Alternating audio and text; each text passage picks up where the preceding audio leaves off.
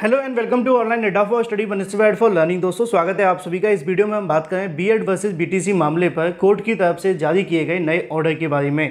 जैसा कि आप जानते हैं कि सुप्रीम कोर्ट ऑफ़ इंडिया के द्वारा दिए गए आदेश के बाद लगातार इस मामले पर अलग अलग सुनवाइयों के दौर जारी हैं। उसी में से एक सुनवाई देखने के लिए मिलती है, जिसको लेकर यहाँ से ऑर्डर जारी कर दिया गया है। ऑर्डर में क्या जानकारी दी गई, वो आपके काम की भी है और महत्वपूर्ण भी। तो वीडियो को आप लाइक कर दें और शेयर कर दें। चैनल को सब्सक्राइब करके बेल आइकन को दबा लें, जिससे कि आपको रियल ऑथेंटिक जानकारी मिलती रहे।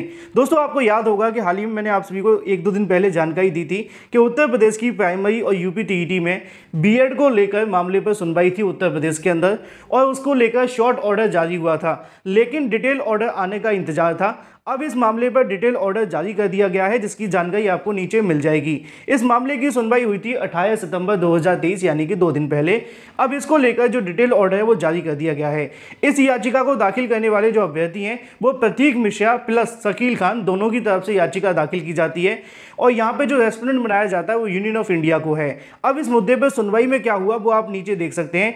On the request of Mrs Tania Pandey learned counsel for the petitioner the matter is adjourned for the day यानी कि जो तानिया पांडे हैं, वो रिक्वेस्ट करती हैं कोर्ट के सामने कि इस मुद्दे को आज सुनवाई के लिए स्थगित कर दिया जाए, जैसा कि नीचे लिखा हुआ है। और इसी के आधार पर कोर्ट की तरफ़ से इस आदेश को यहाँ पे मानते हुए, माफ़ कीजिए, इस रिक्वेस्ट को यहाँ पे मानते हुए ये आदेश दे दिया जाता है कि मुद्दा आज सुनवाई के लिए स्थगित है। क्योंकि यहाँ पे उनकी तरफ़ से कोई रिजॉइंडर एफिडेविट फ़ाइल करना है, जो कि अभी तक उन्होंने फ़ाइल नहीं किया है। अगर वो यहाँ से रिजॉइंडर एफिडेविट फ़ाइल करती हैं तो उसके बाद इस मामले की जो सुनवाई है, वो 6 अक्टूबर 2023 को देखने के लिए मिलेगी।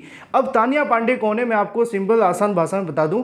तानिया पांडे बीटीसी अभ्यर्थियों की वकील हैं, जिनके माध्यम से उत्तर प्रदेश में प्राइमरी से बी को बाहर करने संबंधित मामले पर सुनवाई की गई थी, बहस की गई थी, और यूपी में भी बी करने वाले अभ्यर्थियों के रिज़ल्ट पर जो रोक लगी थी, वो तानिया पांडे के माध्यम से ही की गई थी बहस। अब इसी को लेकर जब हाल ही में सुनवाई होती है और मामला लिस्टेड होता है, कोर्ट के सामने जाता है तो तभी तानिया पांडे के माध्यम से रिक्वेस्ट की जाती है कि इस मुद्दे को अभी आज के लिए स्थगित कर दिया जाए और अगली तारीख दे दी जाए, क्योंकि उन्हें यहाँ पर रिजॉइंडर एफिडेविट फ़ाइल करना है इस मुद्दे को लेकर। इसी बात को मानते हुए कोर्ट की तरफ़ से इस मुद्दे पर अगली तारीख छः दस दो की दे दी है। यानी कि बीटीसी अधिवक्ताओं के माध्यम से एक बार फिर से तारीख लेकर इस मामले को और आगे बढ़ा दिया गया है। अब इस मुद्दे पर सुनवाई 20 दिन बाद देखने के लिए मिलेगी उत्तर प्रदेश में। तब तक सुप्रीम कोर्ट ऑफ़ इंडिया में लगी हुई अलग अलग याचिकाओं पर सुनवाई होगी तो और भी चीज़ें स्पष्ट हो जाएँगी। ये थी दोस्तों अभी अभी की लेटेस्ट अपडेट फ़िलहाल इस वीडियो के माध्यम से इतना ही। Thank you for watching this video